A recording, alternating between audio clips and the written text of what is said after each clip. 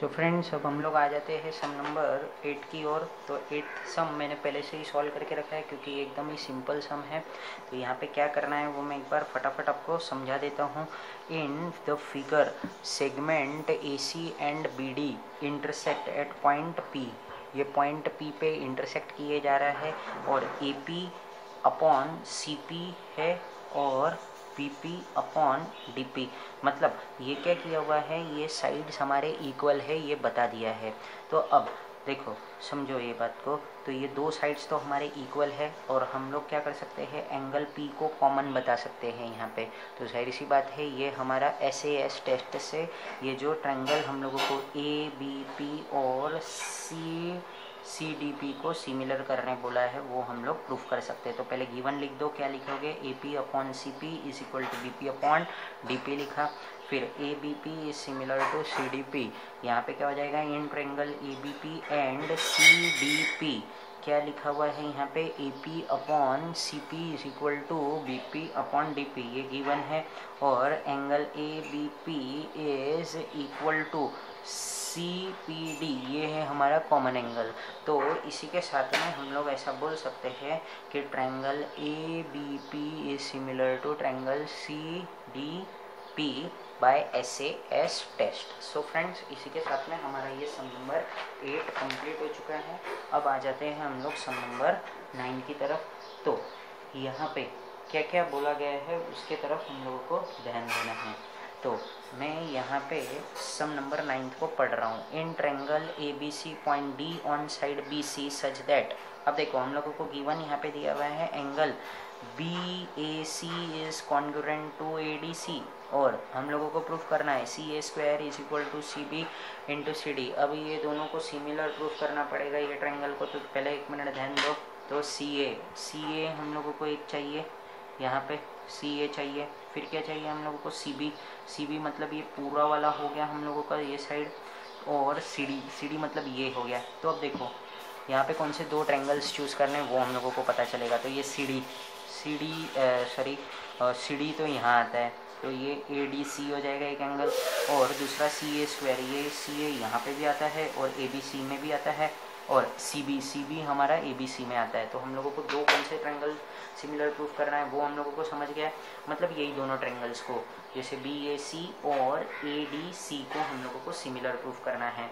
तो हम लोग गी वन पहले तो लिख देते हैं. गी वन क्या है? हम लोगों को दिया हुआ angle B A C is congruent to angle A D C दिया हुआ है और टू प्रूफ क्या करना है हम लोगों को?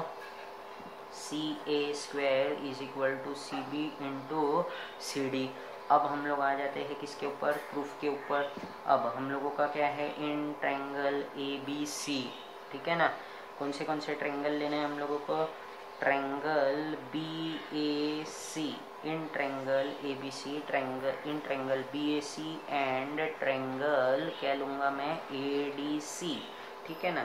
सबसे पहले तो हम लोग गिवन वाला पार्ट लिख देंगे। B A C is congruent to angle A D C ये क्या है? हम लोगों को गिवन है और ये दोनों के दोनों हमारे क्या है? कॉन्ग्रेंट है। तो ये गिवन है। फिर उसके बाद में हम लोग क्या लेंगे, इसमें सी सी एंगल क्या है हमारा, दोनों में भी कॉमन है। ठीक है ना? तो ए बी सी में भी कॉमन है और ए ए डी सी में भी कॉमन एंगल है। तो हम लोग क्या करेंगे, यहाँ पे यहाँ पे मैं लिखता हूँ बी ए सी है ना? तो क्या लिखना पड़ेगा हम लोगों को? A C B is congruent angle क्या लिखेंगे हम लोग?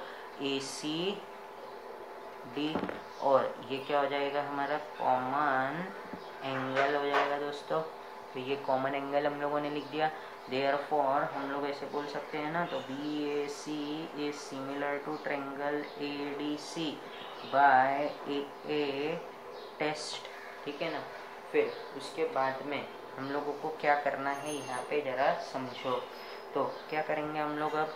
ये जो था बी ए सी और ए डी सी अब हम लोगों को करस्पॉन्डिंग साइड्स लिखना है तो बी ए अपॉन क्या लिखूँगा मैं? A D is equal to क्या करना पड़ेगा हम लोगों को? A C upon D C फिर उसके बाद में बी सी अपॉन क्या लिखना पड़ेगा? ए सी ये क्या है हमारा? Corresponding corresponding sides of similar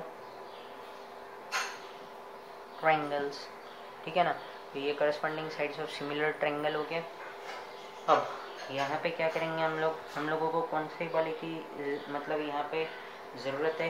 तो सी ए स्क्वायर तो ये ये आ जाएगा ए सी स्क्वायर और ये B C into B C आ गया मतलब सी बी आ गया और ये आ गया। तो हम लोग यहाँ पे अब लिख देते हैं, क्या लिखूँगा मैं? ए सी अपॉन डी सी ये चाहिए हम लोगों को is equal to B C upon sorry A C आ जाएगा। ठीक है ना? तो अब इसको हम लोग क्रॉस मल्टीप्लाई कर लेते हैं तो ए सी स्क्वायर हो जाएगा ये। ए सी इंटू ए सी चलो, एक और एक स्टेप बढ़ा देते हैं तो ए सी ए सी इंटू ए सी और फिर क्या हो जाएगा ये B C into D C A C into A C कितना हो जाएगा? A C square is equal to B C into D C अब ये देखो ए सी मतलब सी ए है और बी सी मतलब सी बी और डी सी मतलब सी डी तो हम लोग ऐसे लिख सकते हैं दैट इज़ हम लोगों ने प्रूफ कर दिया क्या? C A square is equal to C B into C D तो ये हमारा हो गया क्या? है हेंस प्रूफ हम लोगों ने ये सम को कंप्लीट कर दिया स्मूथली